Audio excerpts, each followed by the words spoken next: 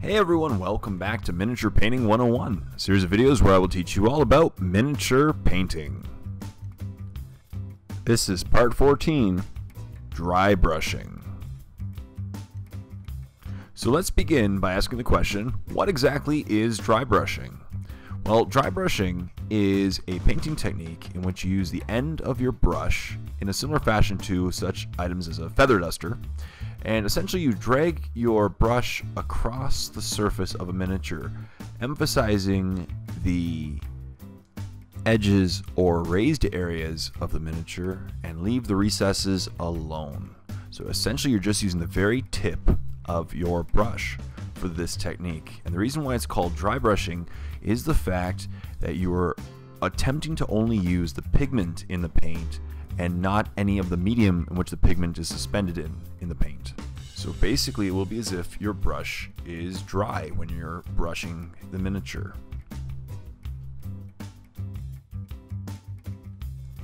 Well, the next question is obviously, why use dry brushing? Why would you use it to paint your miniatures? Well, first of all, it is a relatively quick and easy process to learn and to apply to miniatures.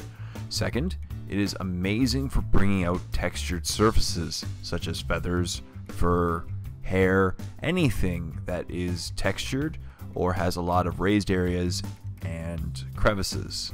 And finally, it is amazing for blending colors together. There are some people who can air, dry brush so well that it will rival airbrushes in the seamless blending of the paint. So obviously the next question is, why not airbrush? Well, first of all, it is very wasteful depending on what type of paint you are using. You'll notice how much paint ends up on your piece of cloth or towel or whatever surface you're using to wipe off your paint on. Number two, it requires frequent loading of the brush since you're only using a tiny bit of the paint particles on your brush and it, you typically use them very quickly up, and then you'll have to reload your brush.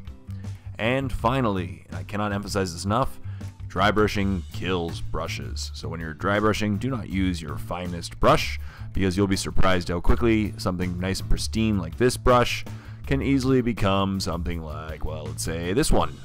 Uh, you see the end of the bristles because uh, that's typically the motion in which you air, dry brush frequently uh, it tends to wear down your brushes and creates this kind of uh, brush in the end. So it will kill your brushes.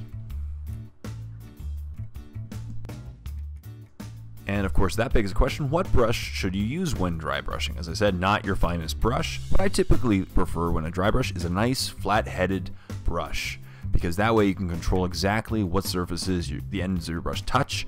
If it's a really circular end, you'll have a problem because it'll probably get into the recesses. So I like to use a nice flat-headed brush, which you uh, can see here. And uh, yeah, that is just my personal opinion of what to use. Obviously, anything can actually be used as a dry brush because it's a technique, not necessarily a specific brush.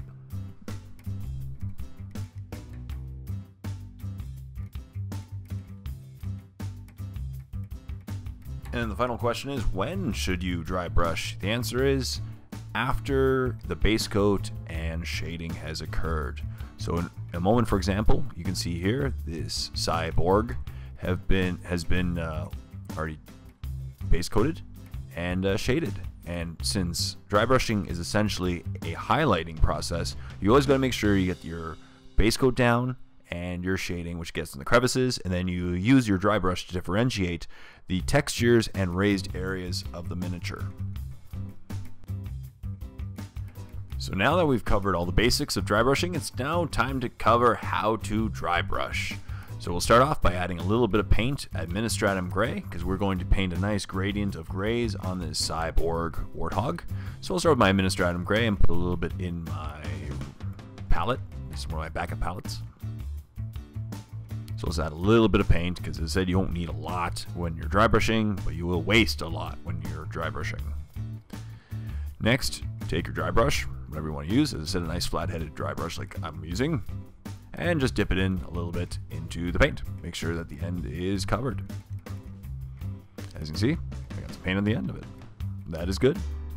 And the next step is to wipe the paint off your brush. What I like to do is do at least two to three crisscross patterns on a paper towel. This is a heavy duty paper towel. I recommend something that has a good absorption to it. And what this does is it removes the medium from your brush tip while also evenly distributing the paint throughout the end of the brush. That is creates a much more even dry brushing. Um, an inexperienced person can easily create uh, an imbalanced dry brush, and, and you'll, it'll be easy to tell. So now that it is evenly distributed on my brush, and there's very, very little medium, just the pigment on the brush, I'm going to apply this to the miniature.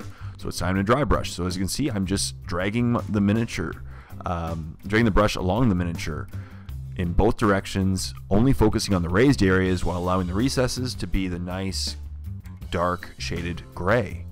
And I already ran out of paint once, so I quickly repeat this process again, dip the brush in the paint, wipe it off on the paper towel, and apply it to the miniature again. As you can see, there's a lot of repetition to this, and uh, it does waste a lot of the median from the paint.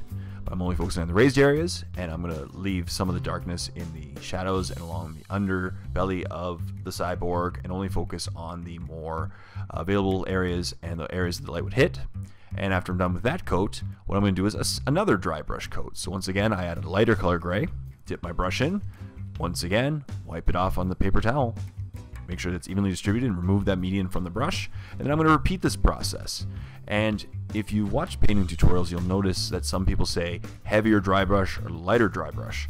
And the, uh, the actual level of dry brush is typically referring to the amount of pigment on your brush while you're dry brushing, as well as the uh, how much you actually hit the miniature with your brush. If you're really, really forcing the brush on the miniature, it could be a more heavy dry brush, as well if, if you're using a lot more pigment on your brush, it is a more heavy dry brush. So what you do is, with each brighter layer, you want to do a lighter and lighter dry brush. Therefore, you want to have less and less pigment and you want to hit the miniature with less and less force with your brush. And that's what I'm going to keep doing. I'm just going to slowly work my way up the miniature with lighter and lighter colors. So once again, I add a little bit more white to this gray to create an even lighter gray and mixed it well in my palette. As you can see, it's a very light gray and dip my brush in once again. And you'll see in just a moment, I'll take it to my paper towel and I will wipe it off in several directions. And as you can see, there's a lot of median already on the on the paper towel. And I'm just getting it nice and even on my brush. As you can see, there's very, very little paint on my brush. As you can see right there, there's only a tiny, tiny amount. You can barely see it on the brush and I'm going to apply it to even higher surfaces on the miniature. By higher, I mean height-wise higher. I'm only going to I'm going to create a nice gradient of color as you go from the feet to the head. It'll go from dark to light, and I'm just picking up on those nice raised edges. And as you can see, after just a couple easy colors, you can totally see the textures and a nice gradient forming on this cyborg, as opposed to before where you really couldn't tell the difference. And I'm just going over the miniature And as you can see, after each coat, there's just an even greater gradient in the color, but it's very smooth, and it's a great transition from dark to light. And here's what it looks like after several different colors. And this hasn't taken me much time at all. And then just by repeating this process repeatedly over and over again with even lighter colors, but just by adding white into the mixture frequently, uh, I'm just repeating this process and focusing more on the higher levels of the miniature. And yeah, this just shows the effectiveness of dry brushing. And after so many coats, as you can see, this is what the cyborg looks like. And you can clearly see the definition in the fur. And on the other side here, I haven't done it, so you can see what the original looked like. So that's it before the dry brushing, and here's what it looks like after the dry brushing. A huge difference, so much greater gradient, and you can see all that nice texture to the model.